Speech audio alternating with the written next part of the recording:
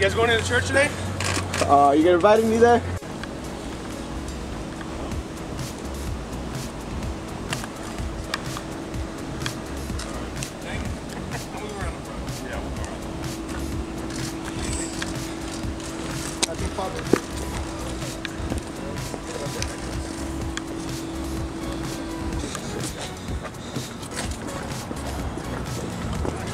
You guys going to the church today?